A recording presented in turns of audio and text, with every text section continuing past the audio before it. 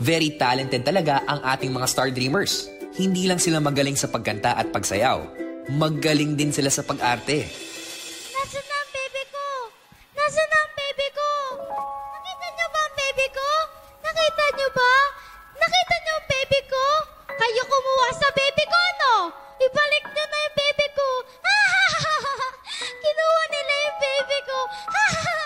Eh, sino ba kasi ang kumuha sa baby niya?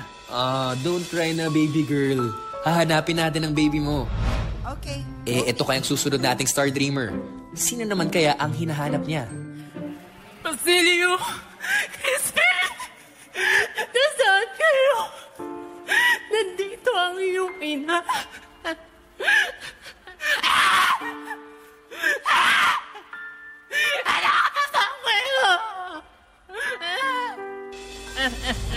Eh, siya kaya, ano kayang pinaglalaban niya? Gusto mo bang ipaalala ko sa'yo kung ano yung ginawa mo sa akin? Ha? Lumapit ka! Lumapit ka dito!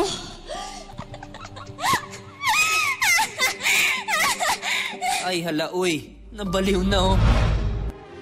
Ang mga Star Dreamers, may kanya-kanyang nakakabaliw na paandar para mapansin ng mga Star Hunters.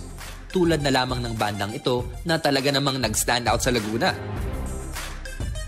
Ako si Jeff, ang vokalista. Ako si Jeric, ang gitarista. Ako si Arnel, ang bayista. Ako si Miko, ang lidista. At ako naman si Marlo, ang tambolista. At kami ang banda ni Machine Man. Bali, nagsimula po yung banda namin, ah, 2017 lang po. Isa po kasi akong ah, songwriter, gumagawa po ako ng mga kanta.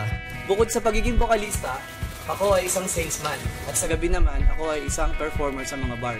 Si Jeric ay isang panadero, si Marlo ay isang pulis, ah, si Miko naman ay isang SK chairman, at si Arnel naman ay isang engineer. Pero guys, bakit nga ba ganyan ang costume nyo? Napag-usapan po kasi namin ng banda namin na kahit saan po kami tumugtog is isusuot po namin tong costume namin. Kumbaga, bukod sa performance po namin, maaliw din po yung tao kasi dun sa costume namin. Tsaka makukuha agad namin attention bago pa man kami tumugtog. Pero bago pumunta sa Star Hunt Audition, may malaki pang aberya ang naganap. So, may nangyari po kasi, naigig po kami, hindi po kami binayaran. So, diretsyo na po kami doon sa venue. Ano oras natapos gig nyo?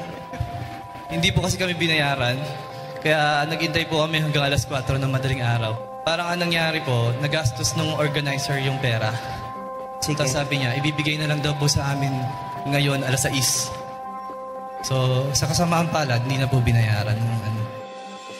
Pero kahit anong mangyari, pinilit pa rin ang banda na umabot sa Star Hunt para mapakita ang kanilang talento. Sumali po kami sa Star Hunt dahil nagbabaka sakali po kami na baka makilala po yung banda namin.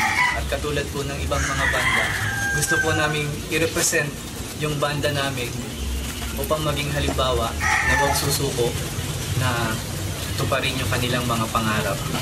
Ito pong costume ko, ito po is si Machine Man. Si Machine Man po, nung bata pa ako, siya po yung pinakang tumatak sa isip ko. So, nakagawa po ako ng isang kanta na ang title po is Machine Man. Ah, ito po ay tungkol sa mga lalaking niloko ng mga babae. So, yun po yung tumatak sa isip ng mga taga sa amin sa Santa Cruz, Laguna. Ready.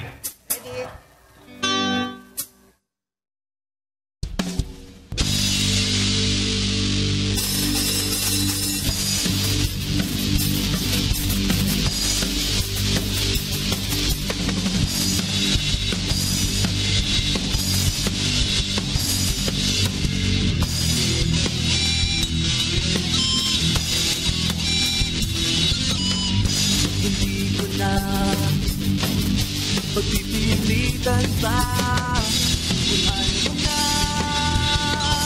Bahala ka na sa buhay mo. Okay lang yun. Marami pa namang iba dyan. Naghihintay, nag-aabang Sila ay aking lapitan. Hindi na ako magtitiwala sa iyo. Oh, galing mong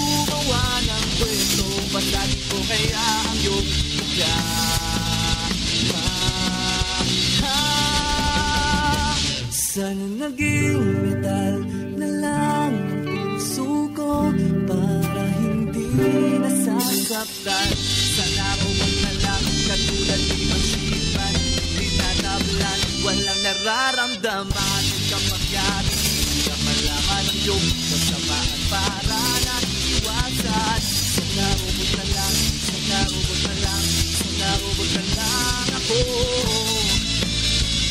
Sana robot